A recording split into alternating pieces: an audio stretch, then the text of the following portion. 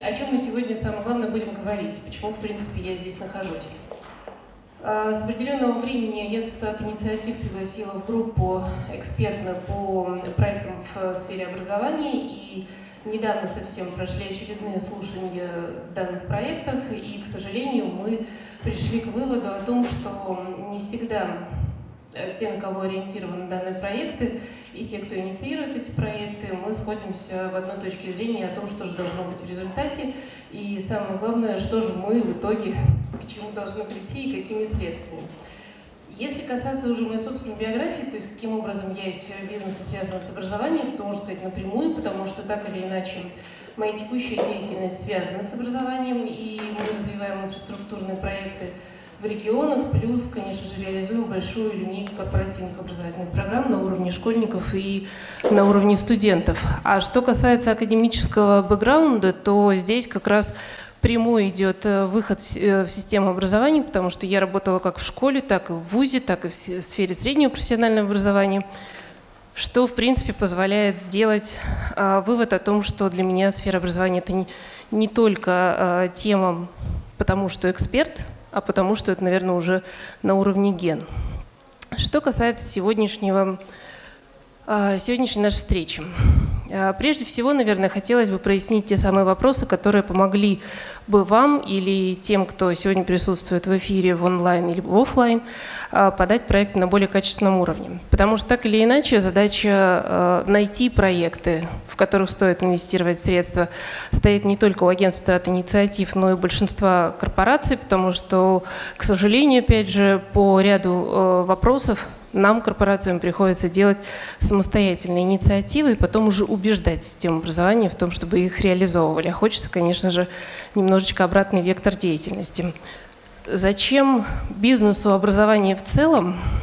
Это, наверное, такой очень интересный вопрос, потому что можно очень много размышлять о том, что бизнес через образование готовит себе кадры, но мы понимаем, что это всегда такой отсроченный результат, и по этой причине не всегда а, коллеги, с кем мы ведем диалоги по образованию, понимают, а зачем мы сейчас, в конкретный момент, вкладываемся в него и что-то пытаемся трансформировать. Между тем, если посмотреть на а, ряд, наверное, крупных цитат и тех э, проектов и инициатив, которые происходят. Вот здесь, в частности, приведена интересная очень цитата про э, систему тестирования ПИЗа. Можно будет сказать о том, что не только бизнес смотрит на образование, но и, в принципе, большая политика также определяет глобальные тренды по инвестициям в ту или иную отрасль, исходя из тех результатов, которые получают по оценке э, компетенций детей. Но если по ПИЗе, в принципе, есть очень много таких э, дискуссионных вопросов относительно того, насколько она качественно диагностирует те или иные компетенции, насколько она коррелирует с ожиданиями работодателей, то есть ряд других моментов, в том числе и, естественно, большая задача по развитию кадров для реального сектора экономики, которая действует в любом регионе. Поэтому бизнес и образование, в принципе, наверное, не нуждаются уже сейчас в пояснении по своей сфере взаимодействия, но между тем есть ряд моментов, которые точно нужно обсуждать. Опять же, не, неудобно сидя, но тем не менее. А, когда мы говорим про проекты и когда уже выходим на дискуссионную площадку, вне зависимости, это а, в сфере а, оси, либо любых других инициатив в сфере образования, всегда должны задаваться, и в принципе, что эксперты, что инициаторы задаются несколькими крупными вопросами. Первое, какую проблему решаем проектом? И вот здесь вот очень хочется сказать о том, что а, в принципе, что вы, что мы, всегда идем по нескольким а, линиям. В первую очередь, какую проблему мы решаем на уровне региона, страны или конкретной локации. А, и второе уже в контексте задач бизнеса. С одной стороны, кажется, что эти две области, они не всегда коррелируют, но тем не менее уже мы понимаем, что текущая система нацпроектов по сфере образования не только, она предписывает о том, чтобы бизнес стал законодателем тех инициатив, которые будут реализовываться. Поэтому, когда вы учитываете обе позиции, то всем хорошо. Если говорить про конкретные примеры, то что мы, как правило, слышим? Мы как бизнес. Итак, если в части формулировок. Зачастую, когда мы получаем, и я в частности получаю проекты на экспертизу, получаем такие формулировки. Мы стремимся развивать э, детей в сфере такой-то, такой-то, такой-то, получится э, личность с широким э, кругозором, личность, которая будет способна выполнять такие-то, такие-то действия, и мы каждый раз задаемся вопросом, а с чего вы решили, что именно эта проблема стоит в этом регионе. Как правило, большая часть заявок, которые к нам поступает, неважно, это на благотворительные программы, либо на любые другие инициативы, абсолютно э, не обладают вот аналитикой, а почему эта проблема актуальна. Последний случай, который мы, наверное, обсуждали очень и очень ярко, был в конце октября, когда мы смотрели проекты, посвященные системе повышения квалификации учителей, и нам говорили, что всех учителей нужно диджитализировать. Задаем вопрос, почему? И тут дальше уже э, руководители проекта нам, к сожалению, не смогли аргументировать, кроме как тем, что ну так все же этим занимаются. Вопрос не в том, что все ли этим занимаются, а конкретно, есть ли такая проблема – что у учителей не хватает digital skills. И сможет ли и готов ли заказчик, вернее исполнитель, сформулировать, а что такое digital skills для учителей? Помимо того, что это очень хайповое направление и хайповая сфера. А что делает регион? А анализированы были ли какие-либо практики или текущая ситуация, как развиваются цифровые навыки учителей в конкретном городе? А чем, соответственно, дальше продукт будет отличаться от того, что реализуется, и насколько это поможет или встанет в контекст национального проекта образования по цифровизации. И тут сразу же возникает очень большая пустота, тишина, и нам говорят, ну как же, ну вот, а как же про digital skills? И опять все возврат на круги своя. Между тем, когда а, мы получаем проекты, в которых уже четко нам расписывается о том, что мы хотим развить компетенцию вот такую-то, которая складывается из навыков таких-то, таких-то, таких-то, и будем делать это такими-то э, средствами, то эта заявка уже, естественно, значительно более проработанная, и мы, как правило, в эту заявку уже глубже заходим. Что касается второй позиции в этом пункте, это вопрос потребностей бизнеса то тоже возникает очень много интересных кейсов, когда нам говорят, ну вам же это надо, вы же хотите инженеров, например, с цифровыми навыками, а мы вам тут и цифровые навыки, и околоцифровые навыки, еще и все это на английском языке. И тут мы всегда тоже задаем вопрос, а с чего вы решили, что нам это надо? Потому что вот с нами конкретно никто не беседовал, но почему-то эфемерно все считают, что они отвечают нашим потребностям. И тут как раз следующий обязательно вопрос, ну как, все же готовят, Соответственно, раз вы крупный работодатель в данном регионе, следовательно, и вам наверняка это нужно будет. Тут, наверное, по своему профилю как лингвист могу сказать, никогда не додумывайте за других, потому что если нет четких а, показателей статистики и иных источников, которые показывают, что люди с конкретным набором компетенций, которые расшифровываются так, так, так, нужны в этом конкретном регионе, следовательно, заявка тогда будет явно необоснованная. И именно поэтому региональный стандарт э, кадрового обеспечения, который реализует ОСИ в регионах, он первоначально проводит и сфокусирован на тех рабочих сессиях, которые призваны обсудить инженер для вас, ну для нас, как для компании Сибур, это набор таких-то и таких-то компетенций. И мы очень четко прописываем, это достаточно большой такой э, документ, в котором специализированы все точки, касаемые и профессиональных компетенций, и поведенческих, и вот если на это идет ссылка или э, тот, кто подает заявку, с нами ранее коммуницировал, то естественно, что заявка, соответственно, смотрится абсолютно по-другому и уже адресно направлена. Второй большой пул вопросов связан с ресурсами. Э, это, наверное, такая же достаточно большая дискутивная тема, потому что, когда мы говорим, а кем будете брать, но если постановка вопроса про развитие тех же цифровых навыков учителей стоит по всей стране, и до сих пор учителей еще всех не э, оцифровали, следовательно, есть в чем-то затык. И вот как этот затык решается в конкретном проекте. И тут нам говорят, ну как же, у нас вот такая команда, которая уже 20 лет в этой сфере. Ну, тогда мы начинаем, естественно, задавать второй вопрос. За эти 20 лет в этой сфере ваша команда чего достигла? И тут начинается опять многоточие, потому что мы, э, мы всегда за то, чтобы локальные люди развивали локальных людей, но если ситуация до подачи проекта не менялась, Следовательно, все-таки вопрос в тех людях, кого вы называете ядерной командой. И здесь нужно э, уметь признавать, что хватает, а что не хватает команде. И опять же, если вы приведете экспертизу в конкретную локацию из другого города, то ничего страшного в этом нет. К сожалению, именно это зачастую ну, является таким определенным барьером к согласованию заявки, потому что когда мы смотрим набор людей, вовлеченных, это, как правило, одна и, те, одна и та же группа, которая, возможно, сделала повышение квалификации по актуальной теме проекта, но между тем сказать, что именно это те самые эксперты, которые смогут сделать чудо в конкретной локации, нет, не можем. Портфолио, которое предоставляют э, под, э, те люди, кто подает заявку, тоже не всегда отражает набор компетенций, достаточных для реализации. И нам очень часто приходится говорить, коллеги, вот поищите вот здесь опыт, здесь практику и здесь экспертизу, потому что это значительно обогатит ваш проект, и стесняться этого не нужно. Но чем, наверное, глубже в периферию мы уходим э, с точки зрения э, человека, который хочет получить грант, или подает заявку на любую другую инициативу, тем вот меньше почему-то привлеченных экспертизы мы видим. Что касается материально-технической базы, это второй перекос, э, который мы видим в заявках. Это не важно, касаемо это благотворительной заявки, либо это касается тех же проектов по 100 лидерам образования, которые реализует ОСИ. Очень часто люди в первую очередь фокусируются на мат-базе и говорят, что вот без 20 компьютеров цифровизация учителей невозможна.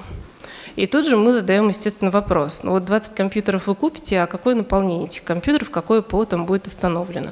Ведь компьютер – это же все равно не панацея э, диджитализации школы. А что мешает зайти там, э, в ЦМИТ или в кванториум, который есть на вашей же территории? То есть мы начинаем задавать вопросы про смежную инфраструктуру, о которой иногда заявитель не всегда знает и владеет. Между тем, такие же отношения э, совместные кванториум плюс заявитель могли бы значительно повысить уже и статус, и reliability этого проекта. К тому же, когда нам говорят о том, что купите нам сначала мат-базу, а, через ваш проект, а потом мы сделаем чудо с детьми, мы тоже этому, как правило, не верим, потому что все знают о том, что э, тендерные процедуры и закупочные процедуры по ряду учреждений увеличивают настолько срок закупки того или иного мат-оборудования, что актуальность зачастую пропадает в развитии компетенций, на которые заявлен данный, э, данный проект. И в этой э, позиции мы зачастую просим, да, если вам нужно мат-оборудование, то, пожалуйста, скажите, что из текущих ресурсов э, образовательных учреждений дополнительного образования, образовательных учреждений основного образования не хватает, и что мешает вам воспользоваться этими ресурсами, что вам необходимо будет купить это, это и это. И, как правило, текущие заявки уже потихонечку сходят на нет в просьбах ремонта компьютеров или иного мат-оборудования в сторону как раз работы с приглашенными экспертами. Ну и, наверное, ключевой вопрос, который всегда э, стоит большим-большим буквам, э, буквой в решении э, в нашем, это какой результат прогнозируем. Надо понимать, что для нас, как для бизнеса, инвестиция в образовательный проект, связанный с учителями или с детьми, это инвестиция в то, что произойдет через 6, а то и 10 лет тот эффект, который мы получим от ребенка, ставшего будущим нашим специалистом, либо в учителе, который э, доведет детей до состояния X по ожидаемому уровню ЕГЭ, например, или по развитию софтовых компетенций, а этот ребенок к нам придет. Естественно, когда нам говорят, э, не могут сформулировать цифровые результаты, а что мы конкретно хотим достичь в этом проекте, то нам как бизнесу очень сложно сделать инвестиционное решение о том, что да, мы даем или нет, мы не даем. А, когда, в свою очередь, мы беседовали с руководителем департамента одного из регионов присутствия и обсуждали совместную программу, был такой же разговор, когда мы спросили, вот э, не буду называть в какой области, а, что мы получим, если... И нам команда департамента начинала говорить о том, что это ребенок, у которого будет гармонизированное развитие того, другого, третьего. И это было очень много и долго. Но когда мы спросили конкретно, ЕГЭ повысим, нам сказали, нет, это невозможно. Почему? Потому что так образование не меряется. Что образование – это про субъекта. Субъект в числах не измеряется, ну, кроме как количественно, 2, 3 и так далее. И э, у нас была очень такая долгая дискуссия, в конечном итоге нас поддержал руководитель департамента, который сказал, ну ведь это ведь, наверное, действительно, правда, бизнес-подход. Они тратят в, во что-то, мы должны дать им инвестиционный рубль обратно. И в этом случае да, мы стали договариваться о том, что как бы ни была сложна система предиктивного результата по ЕГЭ, по количеству, там, ну не будем говорить одаренных школьников, но детей, вовлеченных э, в работу с одаренной молодежью, по количеству проектов, которые выигрывают на знаковых конкурсах, это можно для себя поставить как KPI, и к этим KPI нужно стремиться вне зависимости системы образования, это либо э, иная другая сфера. Но то, тот показатель, та метрика, по которой можно оценить, что инвестиция была не просто так, ее все равно нужно до нее доходить.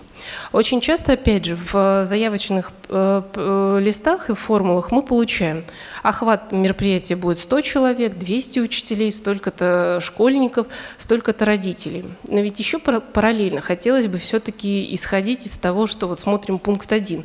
Что вы хотите показать для бизнеса своим проектом и как именно эту позицию вы собираетесь оцифровывать. И вот здесь сразу становится результат. Раз мы как бизнес ожидаем эффект где-то через 4-6 лет – то вопрос, кто будет сопровождать историю от момента реализации проекта до непосредственного результата. И вот я вижу, в зале есть как раз одна из коллег, с кем давно сотрудничаем. И это, наверное, та точка, по которой мы регулярно начинаем спорить. А кто будет в течение года или двух адресно поддерживать учителей? Потому что, как правило, когда мы раньше заходили вот на хорошие, качественные проекты, но одноразовые, у нас получилось, э, к сожалению, а, такой формат восприятия этих мероприятий как гастрольный тур хороших спикеров.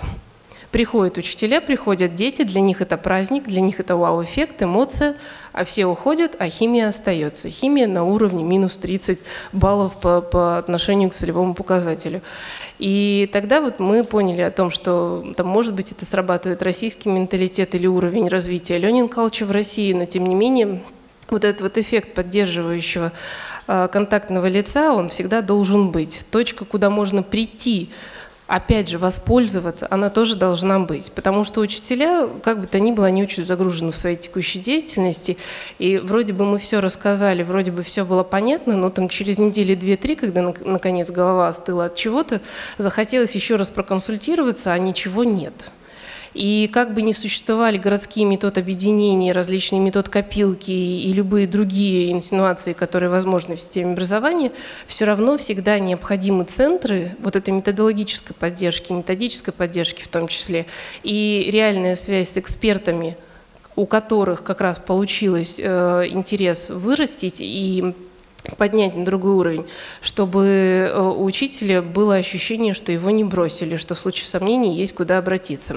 Понятное дело, что по некоторым проектам, которые особенно заинтересовывают детей в части новых э, форматов работы на том или ином оборудовании, хочется, чтобы и островок этого нового оборудования оставался в этом же городе. В этом случае, опять же, ничего не мешает проговорить дополнительно с бизнесом или с, региональной, э, с региональными органами власти о возможностях, например, через год, через два запланировать покупку того или иного комплекта образовательного, а, учебного оборудования, которое действительно сработало вот на период реализации проекта, и сделать дальше уже сетевой график а, его пользования. Тоже мы в городе Тобольске, в Тюменской области такую систему попробовали. Первоначально было очень большое сопротивление, потому что, естественно, что чувство собственника у школы, которая владеет оборудованием, оно всегда очень сильно. Есть вот эти моменты, что придет чужак, разрушит, а я вот как заведующая лабораторией или э, лаборантской да, буду потом отвечать. Но постепенно, потихоньку сетевое использование учебного оборудования доказывает свою эффективность, тем более, что в следующий плановый э, период, э, когда можно будет подумать о том, а что же я хочу купить, уже можно эту установку заказать э, там, на уровень плюс один по продвинутости и таким образом не повторять и не клонировать одни и те же лаборатории по физике, по химии и так далее в одно, в, во всех школах. Мы тоже от этого Тобольск, слава богу, отучили, потому что первая реакция, когда мы привезли инженерный класс Феста, была, ой, а давайте мы купим еще еще три таких класса в три другие школы. Ну вот вопрос, зачем? Если данная лаборатория многофункциональная, и по идее на ней по сетевому графику э, вполне сейчас работают даже колледж, э, который, э, который фактически работает и со своими студентами, и с детьми на проектной работе. То есть здесь очень много форматов, вот той самой sharing economy, когда мы можем один и тот же продукт уже использовать и за счет этого повышать эффективность вашего, э, вашего проекта, если вы его подаете, потому что здесь уже не такие высокие обязательства. С точки зрения «я опылю всех своим оборудованием», но я приеду, научу, оставлю вам вот этот образец, и вы уже сможете дальше внутри наладить его использование. Еще один момент – это все-таки вот онлайн-системы. Здесь призываю быть очень аккуратными, потому что, как правило, у нас есть две крайности в тех заявках, которые приходят на компанию. Первая крайность – обучим всех онлайн – но мы понимаем, что в России обучить всех онлайн – это практически сразу утопическая идея, потому что, опять же, дисциплина, самодисциплина э, людей, которые вовлекаются в систему онлайн-обучения, она пока еще не настолько сильно развита, чтобы сделать это самоконтролирующей, самоорганизующей системой. Заставлять – вопрос, кто будет заставлять и вводить в эту онлайн-систему. Поэтому хотелось бы всегда совмещать. То есть вы показываете, ну, например, в заявке говорится о, об интересной, эффективной методике обучения обучением X предмету или X компетенциям, после чего э, возникает очная сессия, дистанционная поддержка, опять очная сессия, там, контролирующие мероприятия. То есть в формате смешанного можно. Здорово, если лицензия потом уже дается э, городу или школе на право пользования той или иной онлайн-платформы, как дополняющей текущую систему уроков. Поверьте, тогда это действительно вот тот самый эффект, который остается после вас уже и заходит в общую практику. Проектные компетенции и проектная деятельность э, тоже очень важно учитывать в заявке, потому что когда за период реализации проекта помимо теории удается участников вывести на реальный проект и довести в вашем, э, вашем уже вашей инициативе, чтобы этот проект был реализован, принят региональными органами власти и дальше уже взят на контроль по реализации, это тоже тот самый отсроченный э, дальше уже эффект и долгосрочная ценность, которую который будет отличать эту заявку от другой. И каждый раз мы задаем один и тот же вопрос. Как измеряем эффективность? Вот Варвара как раз не даст соврать, наверное, мой вопрос был по всем заявкам, которые мы получили на 100 лидеров э, изменения образования и так далее, потому что для меня было непонятно, каким образом мы поймем, что эффект сработал или не сработал. Здесь можно очень долго, опять же, дискутировать, насколько можно измерять образовательную инвестицию в конкретных цифрах, но поверьте, можно, потому что а, если бизнес заказывает конкретный целевой профиль компетенции, он понимает, как он его меряет, и поэтому здесь вопрос переговоров относительно того, насколько мы можем вашу метрику эффективности уже синхронизировать с нашей метрикой эффективности на последнем или нашу метрику оценки компетенции. На последнем заседании обсуждения заявок мы вот подобный же вопрос задавали коллеге, которая презентовала проект по софт-скиллам. И э, нам была представлена большая система о том, что вот мы разовьем 15, 20, 30 э, компетенций, которые трактуются как мягкие навыки. И у нас, естественно, возникает вопрос, а коррелировали ли вы с HR-метриками то, что вы предлагаете развивать в детях? Потому что в детях мы это зачем развиваем? Чтобы они потом э, вошли в систему работодателя без особой ломки. И вот ответ на свой вопрос мы уже не получили, потому что нам сказали, ну вот как бы мы все собрали, вот что-то точно должно сработать. Да не сработает, потому что это так же, как после системы монте отправить в обычную школу и ожидать, что ребенок легко вольется. То есть здесь вопрос одних и тех же правил игры, поэтому если проект в образовании делается с прогнозом на удовлетворение потребностей бизнеса, нужно будет изначально в обязательном порядке свериться, какие метрики для оценки потенциала или для оценки э, кандидатов на входе э, должны также встраиваться в эту систему. Всегда нужно помнить, что любой проект – это все-таки деньги.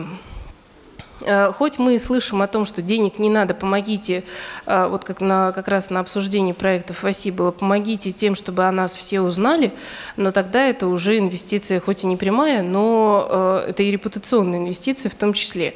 Когда мы говорим о том, что мы готовы поддержать проект, то мы ожидаем от заявителя, что нам будет представлен достаточно расширенный э, анализ или, как у нас ну, мы говорим, бенчмарк по тем или иным вопросам, которые в проекте позиционируются как ключевые, и в обязательном э, аспекте должно быть, должен быть э, финансовый анализ. Что мы говорим про бенчмарк? Очень часто, с чем мы столкнулись уже вот э, в последней сессии, когда, опять же, возвращаясь к пресловутым диджитал-навыкам учителей, нам говорят, мы готовы отучить всех по таким-то, таким-то позициям, притом обращаются к представителям разного бизнеса. А, не нужно ожидать, что бизнес знает то же самое, что и вы. Это первая точка, и, соответственно, наши вопросы, а как вы себе это представляете, а зачем нужны вот такие скиллы, это нормально. Второе, если э, мы как бизнес зачастую знаем больше, что происходит в регионе, чем заявители. Это была удручающая, к сожалению, ситуация и вывод после той сессии, потому что мы знаем сейчас, что в регионах нашего присутствия развитием цифровых навыков учителей занимаются департаменты информатизации, департаменты образования и науки, а, департаменты экономического развития. То есть у каждого региона своя абсолютно система делегирования проектов по развитию преподавателей, если конкретно мы берем сферу образования. И естественно, что когда к нам приходят и говорят, мы дадим вам вау-продукт, направленный на развитие цифровых э, компетенций учителей, то мы задаем в ответ вопрос – а что вы знаете о системе местного института развития образования в купе с проектами Департамента цифровизации? Тут нам отвечают, э, ну, как бы мы не знаем, а вы знаете? Мы говорим, да, мы-то знаем. И знаем на то, что на это выделены региональные и федеральные средства. И, следовательно, в чем будет фишка и отличие вашего проекта от существующего, это уже большой вопрос, который будет определять наше решение по инвестициям. Еще один момент – это когда, э, вот опять же, текущая система нацпроектов образования в сфере и цифровой школы, и э, других подотделов, в том числе и развития э, мастерских, ЦОПов и других институций, э, она как раз говорит о том, что, опять же, будет выделено финансирование или уже выделяется на оборудование, на обучение преподавателей. Те же самые кванториумы достаточно интересные э, в своей конфигурации, как правило, адаптируются под потребность регионального бизнеса. Но между тем, почему-то они очень и очень редко попадают в заявку как та точка, которую проанализировал заявитель. И когда нам опять же говорят, мы готовы развивать цифровые компетенции учителей слэш детей, нам нужно только раз, два, три позиции, мы точно так же дальше уже педалируем вопрос о том, что, коллеги, вот мы знаем, что там открывается кванториум, у кванториума всегда очень хорошее финансирование и интересные программы. Как вы здесь коррелируете? Нам говорят, ну кванториум это одно, а вот мы другое. Но поверьте, что если посмотреть по жизнеспособности этих двух продуктов, то кванториум останется жить, наверное, больше, чем отдельная авторская заявка. А, и в этой случае как бы не нужно брать одеяло на себя, лучше как раз выйти либо в сравнительную характеристику и отличительные параметры вашего продукта, либо же как раз выйти на совместные программы, чему Кванториум особо не э, противится, а наоборот, любые совместные инициативы, э, поданные в том числе и для финансирования от бизнеса, они наоборот приветствуются, и они значительно обогатят, особенно те проекты, которые только-только начинаются в регионах. Что касается, опять же, отдельных локаций, то можно говорить, и когда нам говорят, а давайте вот по сельским школам пройдемся и что-то тоже сделаем. Но между тем мы как раз знаем, что сельские школы зачастую являются первым приоритетом в больших региональных программах.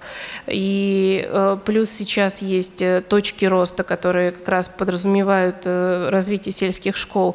Но почему-то нам приходится при защите проектов, нам, бизнесу, выдавать эту информацию на заявителей. Хотя, конечно же, очень хочется раздел в заявке, который будет говорить о том, что да, вы как заявитель знаете очень много, но между тем там вот точно нет вот той изюминки, которая начнется с вашего частного проекта, а потом будет интегрирована в общую практику.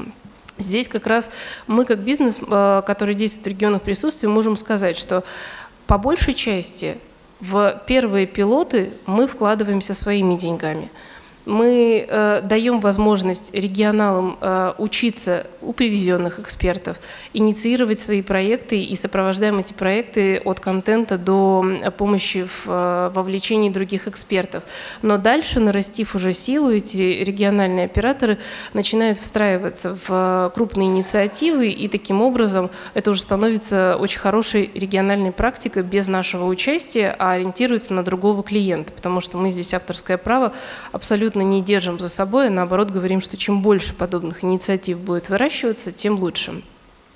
Что касается зарубежных практик, вот это, наверное, одна из тех бед, которые очень сильно хотелось бы э, через вас решить, потому что зачастую мы получаем заявки, которые так или иначе переформатируют или пытаются трансформировать уже существующий локальный опыт.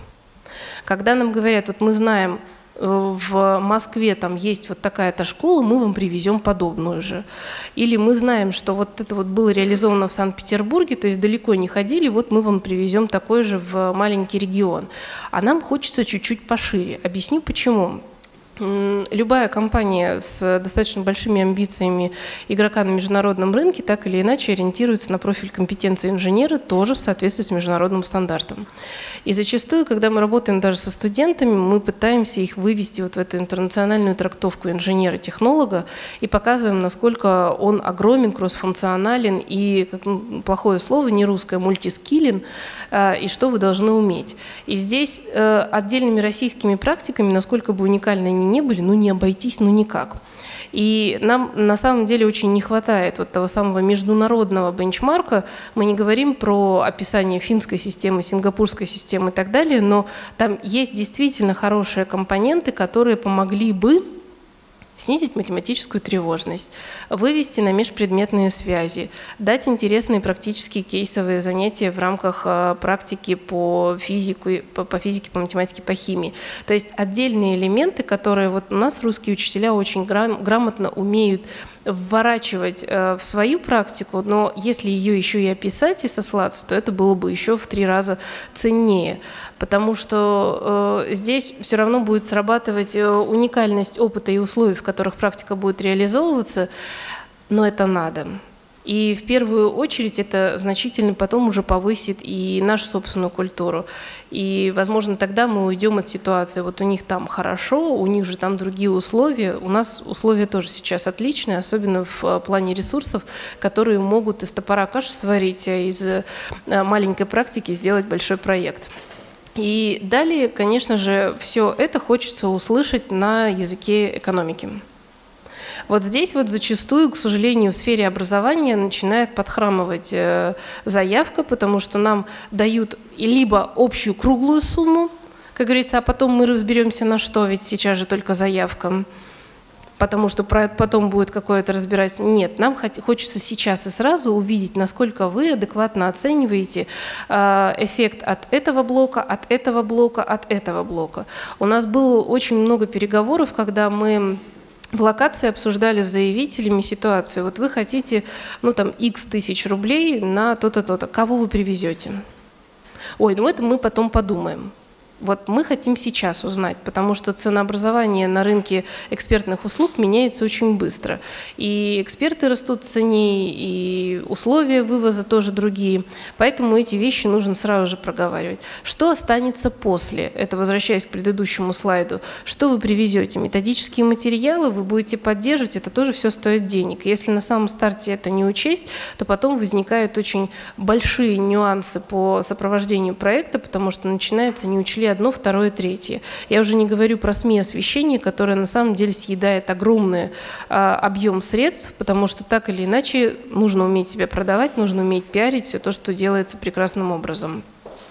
И вот это экономического э, компонента в заявках зачастую очень и очень мало где проработано. И как будто бы это второй этап, то есть называется «сейчас мы выдохнем, потом соберемся силами и представим».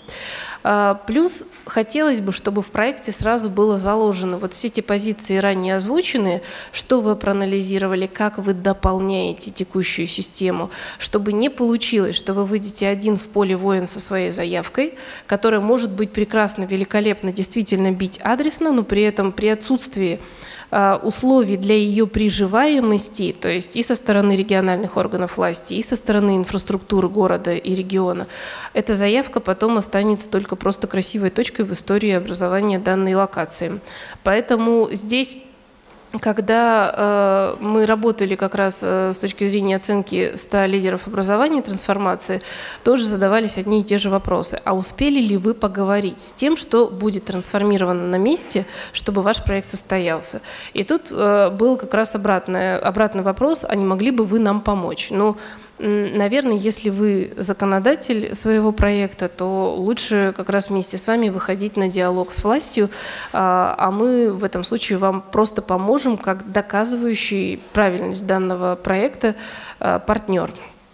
Если говорить конкретно про а, бизнес и образование вот в этой парадигме, мы зачастую э, сталкиваемся со следующей интересной дискуссией. Нам говорят, э, приходят и говорят, ну вот мы готовы сделать все, вы только скажите что. А, скажите свой заказ мы заказ говорим сначала в цифрах по людям, потом в пуле компетенций, и вроде бы как все равно недостаточно. Тогда мы начинаем тоже задать вопрос, образованцы, а вы-то что можете? Вот вы как эксперты в своей области, что бы вы могли предложить бизнесу под озвученную тему? И тут он говорит, нет, бизнес, давайте вот мы вам это все предложим, когда вы нам купите все эти самые 20 пресловутых ноутбуков мы опять начинаем, нет, коллеги, давайте вы нам расскажете, как это буквы. И вот это перетягивание каната или перепинывание мячика о том, кто кому что должен сказать, оно зачастую идет, э, ведет потом к отсутствию нормального диалога.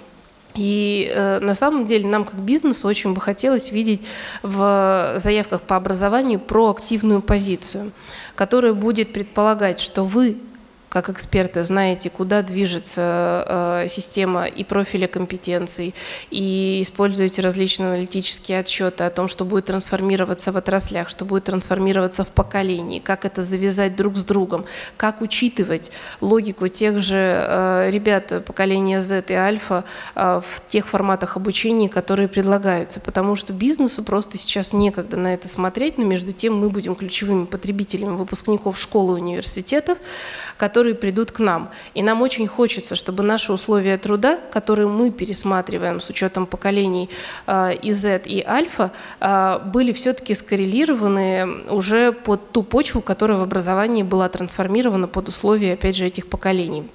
Э, мы понимаем и ориентируемся на те же самые отчеты, которые есть сейчас в паблик, э, из экономических форумов, и из различных э, исследований о трансформации профиля компетенций и о доминанте софтовых компетенций в той или иной сфере. Они, как правило, все про одно и то же. И когда вот ну, сейчас базовая идет картинка как раз эм, по 10 скиллам, которые будут важны на рабочем месте, но если перевести в сферу образования, ничего в принципе не меняется. То есть мы понимаем, что здесь и эмоциональный интеллект, и креативность, и критическое мышление, и решение проблем, но когда мы уже обращаемся, насколько у нас учитель соответствует этим же компетенциям, он в себя впитал, насколько это транслируется через урок, тут мы ответа не получаем. И, соответственно, нам приходится дальше уже использовать свои собственные практики, чтобы эти эти э, компетенции хотя бы на самом старте, на базовом уровне пытаться развивать у детей, чтобы они дальше соответствовали нашим ожиданиям. Потому что развивать у ребят в возрасте 3-4 курса практически ничего не удается, потому что именно отсутствие этих компетенций мешает им проходить отборы, которые проводит компания. И не только компании Сибур, но и компании «Газпром», и «Роснефть», и Татнефть, потому что трансформируя собственный профиль компетенции, мы начинаем его уже оценивать на уровне студенчества.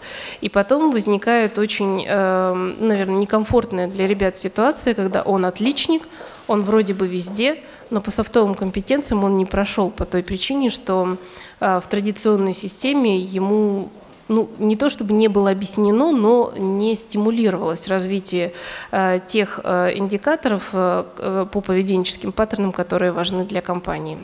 И поэтому, когда мы начнем говорить на одном языке, хотя бы минимум в одной терминологии, э, то будет значительно легче. И самое главное, чтобы все-таки образование как сфера подготовки специалистов, опережающей подготовки специалистов. А, очень хочется, чтобы она была проактивной, нежели в догоняющем формате, в котором мы сейчас периодически наблюдаем.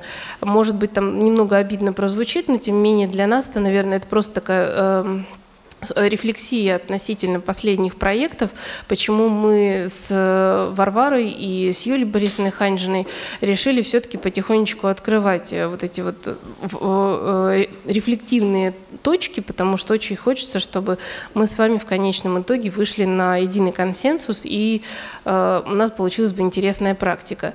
Если по первости иногда кажется, что это, наверное, что-то из разряда невозможного, то можем сказать, что когда мы начинаем работать с зарубежными партнерами, и в частности сейчас по некоторым локациям разрабатываем программу химинжиниринг совместно с международными вузами, вот мы видим там именно такой подход образ... Э, людей из сферы профессионального образования, когда к нам приходят, слышат, что мы хотим, и начинают предлагать и предлагать спикеров, руководителей проектов, форматы проектной деятельности, кейсы компаний, которые нам могут помочь для того, чтобы сотрудников или студентов вывести на положительный эффективный результат.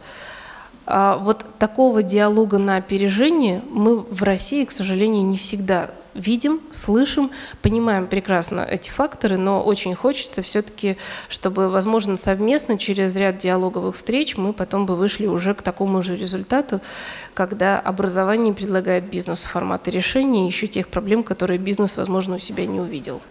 Ну и, соответственно, если опять же, э, проговаривать, к чему хотелось бы сегодня прийти, это про то, что э, если предлагать проект бизнесу, то фактически вы предлагаете бизнес-то-бизнес. И для нас это инвестиция, которая не в формате благотворительного «отдал и забыл», а это работающий инвестпроект, который нам даст уже э, дивиденд в виде человека-ресурсов. Человека-ресурсов, которые обеспечат э, задачи региона и задачи бизнеса в конкретный год, в плановой экономике и при, при учете всех других факторов, которые в, эту, в этот регион э, инвестируются. И здесь хоть и идет стат на английском, и, и пусть и из американской системы, но он достаточно хорошо отражает, наверное, ключевое, что если мы э, что-то начинаем делать в классе, в школе, то фактически это то самое начало, с которым э, на выходе в результате будет с нами работать будущий наш политический деятель или государство. Э, но, тем не менее, очень хочется как раз вот через вот ну, такой пока что монолог, а возможно дальше будет диалог, вывести вас на равный партнерский mindset по э, наполнению заявок в сфере образования. Теперь я готова на вопрос, потому что знаю, что у нас ограниченное время по использованию данной локации.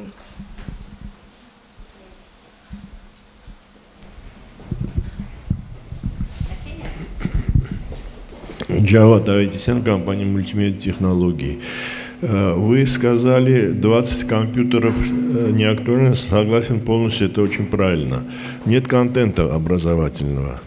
Более того, нет концепции этого контента. Вот вы говорили проактивная позиция. Ведь сегодняшний контент, который есть, во-первых, он э, начинает работать уже в глобальном веб, например, школьное образование, это Хан Академия, не знаю, там компьютерный глам съела, Линда.ком, компьютерная грамотность, иностранные языки, 32 языка съела компания Rosetta Stone, и это, безусловно, то есть проактивность, во-первых, надо позиционировать как выход на глобальный веб, э, на глобальный веб со своим продуктом, причем это тот продукт, который мы абсолютно конкурентоспособны. Единственное, может быть, такие стулья, наверное, мы не можем производить на своем оборудовании. Но завтра мы можем выдать современный контент. Причем это должен быть в 3D обязательно, то есть с искусственным интеллектом, с прокторингом, с интерактивными функциями. И если вот это все переложить на пока общее образование, пока за скобки я выбираю э, корпоративные, региональные. Вот если школьное образование в каких регионах вы говорите. То есть это же образование должно быть на всю Россию. И это если сделать, найти где-то в Тамбове, не знаю, вы сказали ту или забыл уж где-то, хорошего преподавателя физики, пусть он станет экспертом по созданию курса, его окружить тремя-четырьмя дизайнерами, видеодизайнерами, чтобы он сделал хороший курс по физике. И этот курс станет основой, чтобы все школы учились, и учителя вместе с этим курсом в онлайне могли на месте обучать по, вот по этому учебнику, как в свое время советское образование стало лучшим, потому что у нас были лучшие учебники, и они были доступны любой э, деревне, да, вот это, как называется, забыл, э, библиотека там местная, забыл, как это называется, образовательная хата, не помню как. То есть, если это будет доступно, никаких 20 компьютеров и не надо. У каждого сегодня есть смартфон, где смогут тут же приобретут эти жалкие 10 компьютеров или ноутбуков, э, планшетов за 6 тысяч рублей, это всегда найдут на эти деньги. Вопрос, нет контента и его не создается. Вот, и вот главный мой как бы вопрос, зачем его делать региональным, если это надо делать, безусловно, сразу – глобальным для России и даже глобальным для всего мира. Спасибо. А, спасибо за вопрос. Согласна полностью по контенту, потому что действительно мы очень часто имеем уже эквипмент достаточный в том или ином регионе. Почему проговорю про, э, говорю про регион, объясню уже позже.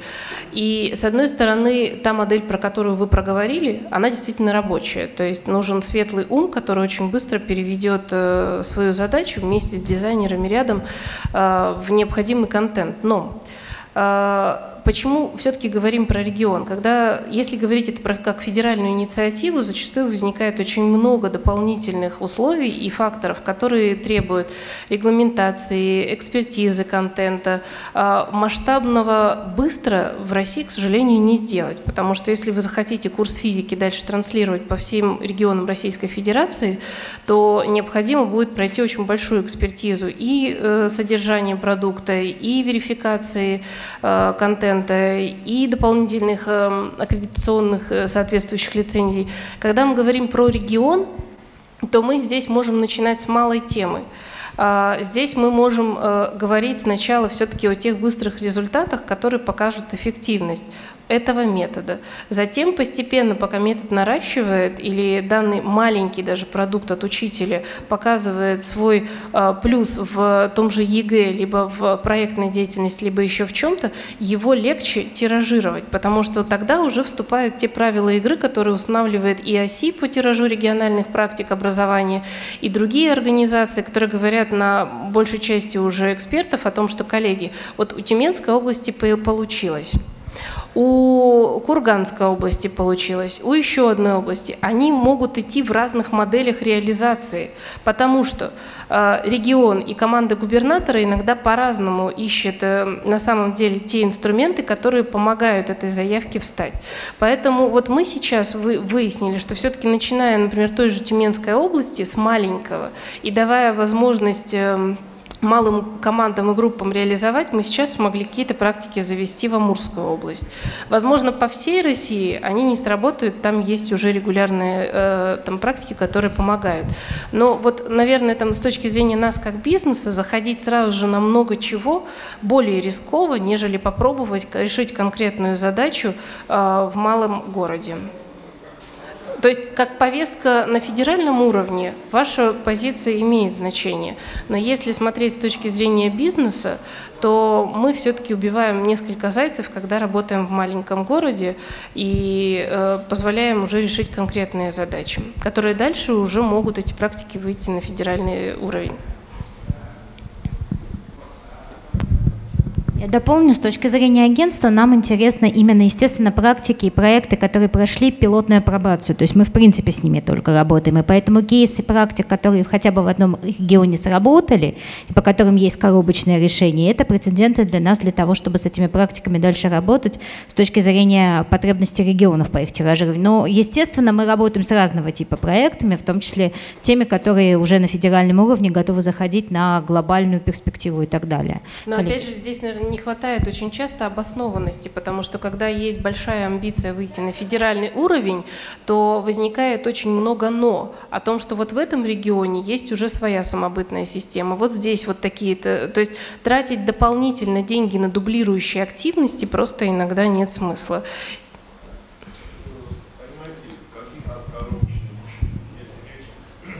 речь идет об онлайн-образовании, а о другом и не может идти речь, правильно ведь?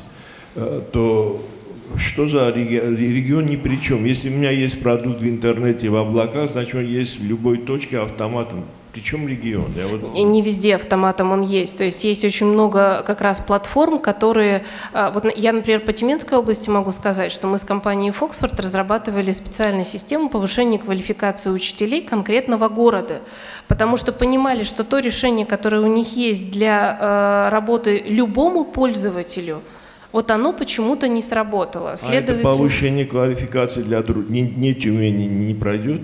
Что? Подождите, здесь вопрос был в том, что мы с ними проработали систему диагностики, определения, быстрой реакции, они быстро э, смогли подготовить те задания, которые смогли э, высадить уже дальше на свою платформу, и это решение дальше прошло уже. Но мы поняли о том, что универсальная система, так же как бакалавриат, оно ну, как бы на всю страну не каждому подходит.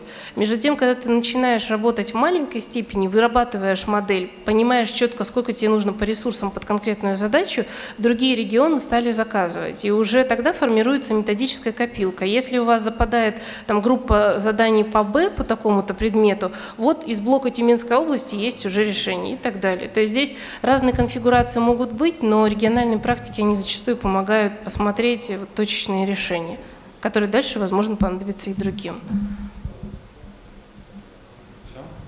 Я как раз вот из школы, Московская международная школа, э, Устинов Вадим Юрьевич.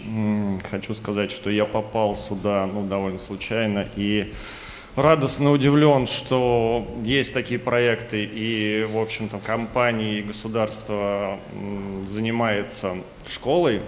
На самом деле я вот прямо вот из школы, да, информация такая. То есть в школе о вас не знают.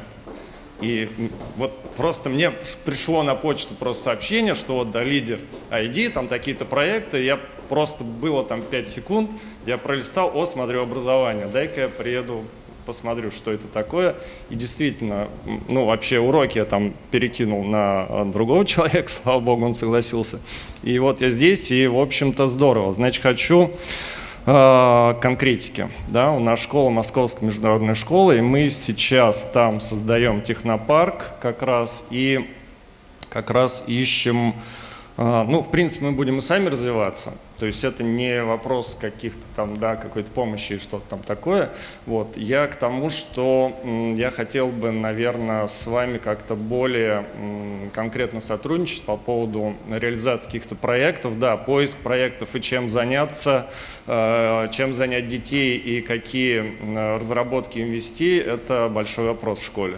То есть мы не знаем, что действительно говорили, что нет мониторинга, его нет по разным причинам, в основном по причине того, что а кто это будет делать? Учителя, у них загрузка неимоверная. А, какой-то а, административный персонал, там, знаете, сейчас идет укрепление школ, и административный персонал тоже задействован там на 200%, то есть мониторить фактически некому. Мониторят, ну, энтузиасты, так скажем, да, вот, так что мы э, были бы тоже заинтересованы, если бы вы нам давали темы, как вот вы говорили, что вы даете. Обещаю, что никакого отфутболивания и перепихивания мечей не будет. То есть я, в принципе, э, я вот руководитель технопарка, но пока он создается. Да? Мы сейчас купили э, единственный э, пока агрегат, так скажем, ну, правда, такой, я так понял, что он уникальный для Москвы даже и, может быть, даже несколько для России. Это лазерный станок, там, ну, не буду я в технические подробности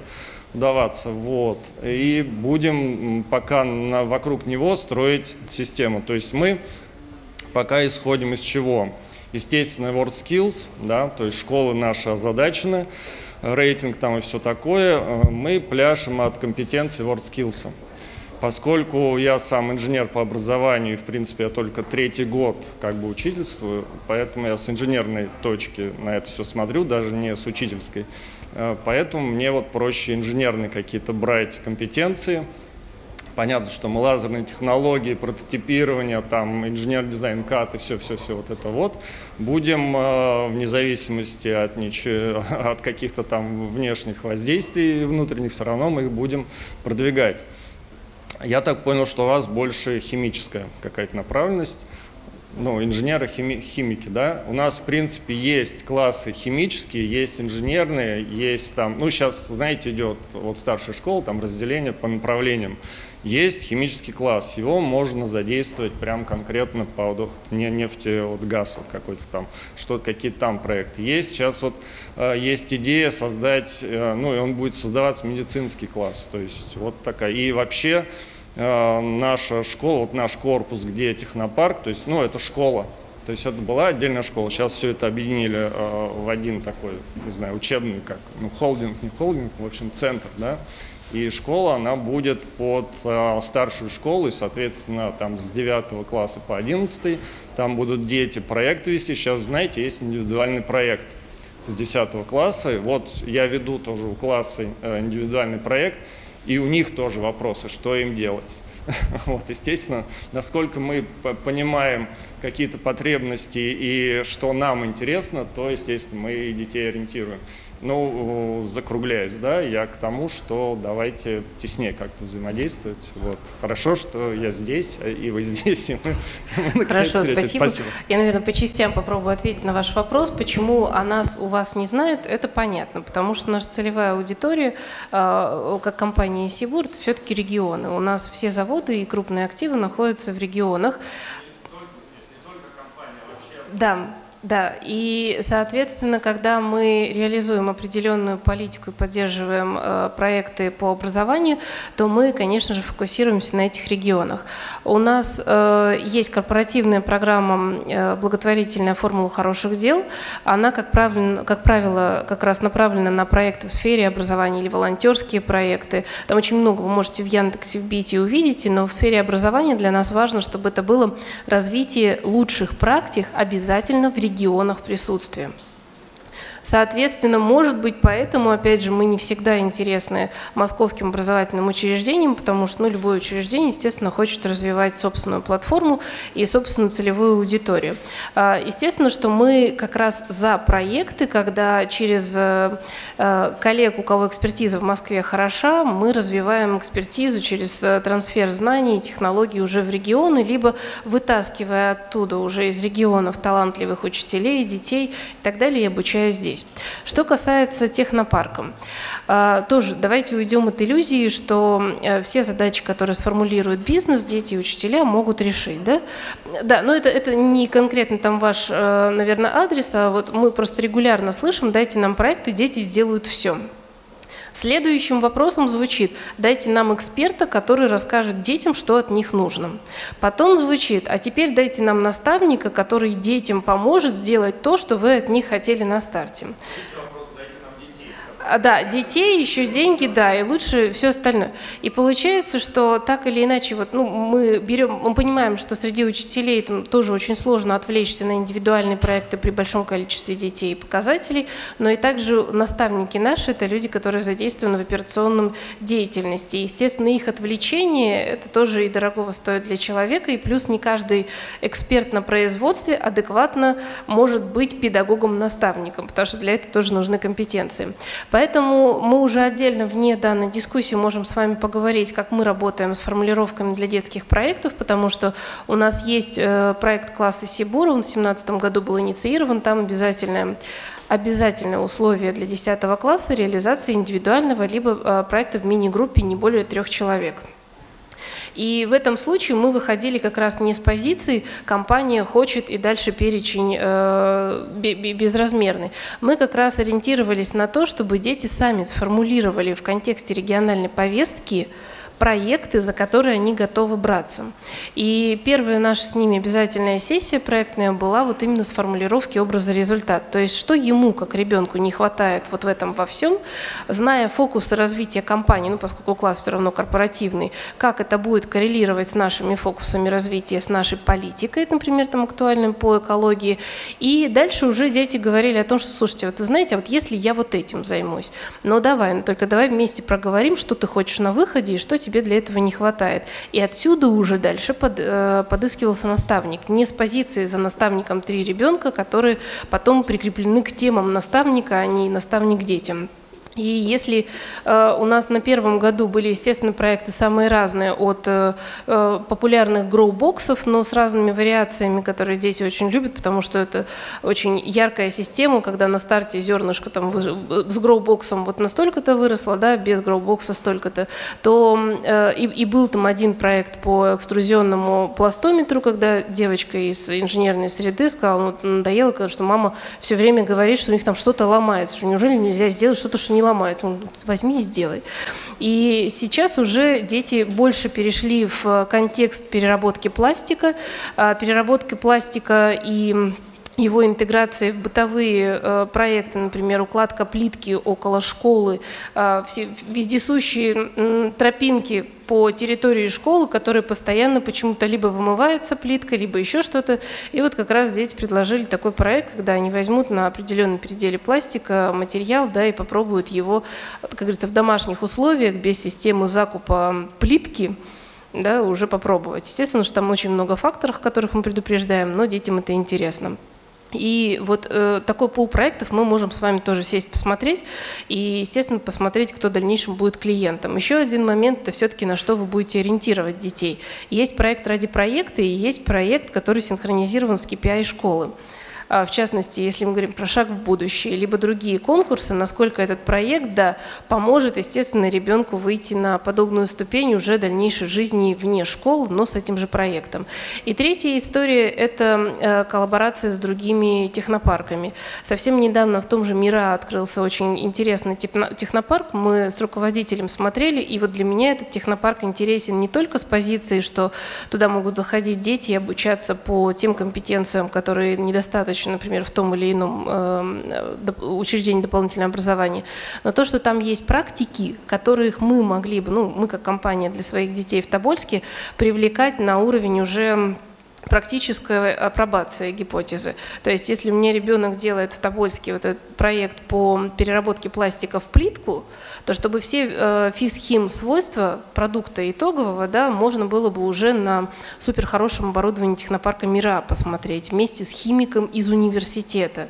Это тоже вот эти сетевые программы, когда вы начинаете здесь, а потом уже находите эксперты и таким образом э, делаете объединенный сетевой проект, они могут быть очень интересны и полезны. И здесь уже и вне зависимости от компании вы можете выходить на партнеров. Я думаю, что все поддержат, потому что гонка за интересным проектом, она у всех одинаковая, и естественно, что лучше пусть три-четыре институции в этом участвуют, но зато будет хороший проект достойным. Поэтому да, готова поговорить и там, поделиться опытом. Спасибо. Добрый день. Газиева Инна, Аранхикс, Президентская академия. Когда речь идет про регионы, я не могу не отреагировать, потому что у нас ну, крупнейший вуз в России э, за счет того, что мы имеем 56 филиалов по всей стране, от Калининграда до Хабаровска. Вот в этой связи такой точечный вопрос. А, все-таки речь идет о поддержке проектов только в регионах присутствия Сибура или все-таки шире? Потому что а, как раз вот мое подразделение, я занимаюсь формированием проектных компетенций в рамках одного проекта с среди преподавателей наших всей филиальной сети. И с другой э, стороны, это другой проект, который мы сейчас пытаемся завести повторно на поддержку оси, акселератор социальных инициатив «Рейс», уже формирование проектных компетенций, ну, правда, в сфере социального предпринимательства, на примере социального предпринимательства у а, студентов нашей филиальной сети и у студентов других вузов. Соответственно, когда мы говорим про поддержку каких-то проектов, ну, студенческих, да, э, идет ли речь только о а, регионах присутствия Сибура, и второе, ну, собственно, мы сейчас много слышали про поддержку проектов именно школьных, а, какова практика поддержки вузовских проектов? А, значит, в первую очередь для нас, как для бизнеса, интересны регионы присутствия компании потому что решается несколько задач, в том числе и вопросы удовлетворенности сотрудников компании, особенно те, кто переезжает из региона в регион на крупные проекты, уровнем э, образования в том или ином городе, потому что это зачастую определяет, приедет эксперт или не приедет. Что касается поддержки вузовских проектов, здесь тоже э, надо понимать, вуз делает проект с направлением на школу, да, поддерживаем, если эта школа, опять же, в регионе присутствия компании, либо проект направлен на идентификацию талантливых, мотивированных ребят, ориентированных на инженерную профессию, и ВУЗ э, готовит потом по инженерным профессиям, потому что мы готовы помогать и в основном стимулируем проекты, когда через университет хватаем таких детей и потом позволяем обратно им вернуться уже с нужной экспертизой. Есть э, серия программ для волонтеров, и это тоже открытый конкурс для студенчества. Если мы говорим про инженерные проекты, то, как правило, они интегрированы в программу корпоративной подготовки с третьего года обучения в ВУЗе. Поэтому, ну вот как бы в зависимости от того, какой направленности проект. И если говорить про э, проекты студентов в инженерной сфере, то здесь тоже можно э, в каких-то регионах обняться и заплакать, потому что вот этого видения технологического, а как это работает у других и как я модифицирую через свою ВКР что-то, его пока тоже нет. Потому что так или иначе есть, к сожалению, стереотип в системе образования, что выпускная квалификационная работа бакалавра – это полуреферат. Да? Мы не говорим о том, что там плохо или хорошо. Мы уходим от оценочного э, суждения, мы говорим о том, что это работа, это все равно исследовательская работа с практическим выхлопом, она должна быть проведена, соответственно, по нужному алгоритму.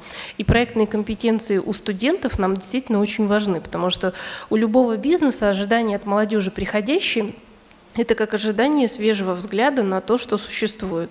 А, если тем более мы понимаем, что текущее поколение, а, они действительно отличаются совершенно другим подходом к решению проблем, они полны как раз вроде бы нестандартных идей к решению проблем, и у них совершенно другой кругозор и, и компетенции, то есть это такой э, своеобразный зачаток T-shape people, то почему не получается, почему они приходят, и у них э, совершенно другой обратный эффект. Вот как раз э, через проекты на уровне университета в рамках целевых программ подготовок мы пытаемся этот вопрос для себя порешать, но сталкиваемся с тем, что проектные компетенции у детей не очень развиты. А если мы говорим про педагогов, то, а, как правило, педагог точечно работает с конкретным мотивированным студентом, но сказать, что это широкая практика, и у всех срабатывало, как у собаки Павлова, рефлекс на, на проект, этого нет. Но это интересно.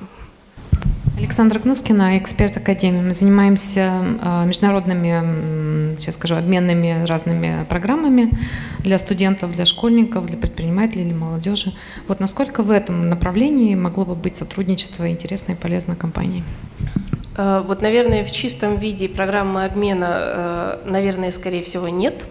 Программы обмена с internship – с возможностью практики на э, отраслевых предприятиях, да. Да, именно это. То есть мы делаем визиты, связанные с посещением там вузов, колледжей, соответственно, научных парков, э, технопарков, э, компаний э, в соответствующих разных регионах. Здесь, наверное, давайте там переведем угу. в область. Любой, э, любой выезд, любая стажировка должна закончиться э, набором новых компетенций, новых навыков.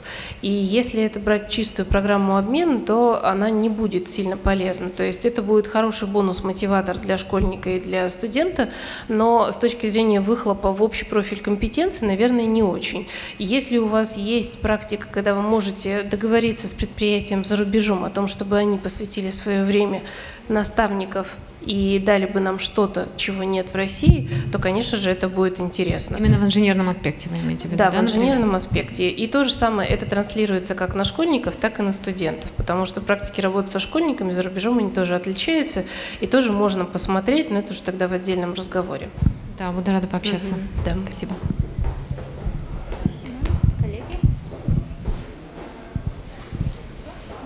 Коллеги, тогда мы, в принципе, заканчиваем, как я понимаю. Спасибо большое, Юля. Да, спасибо большое, коллеги.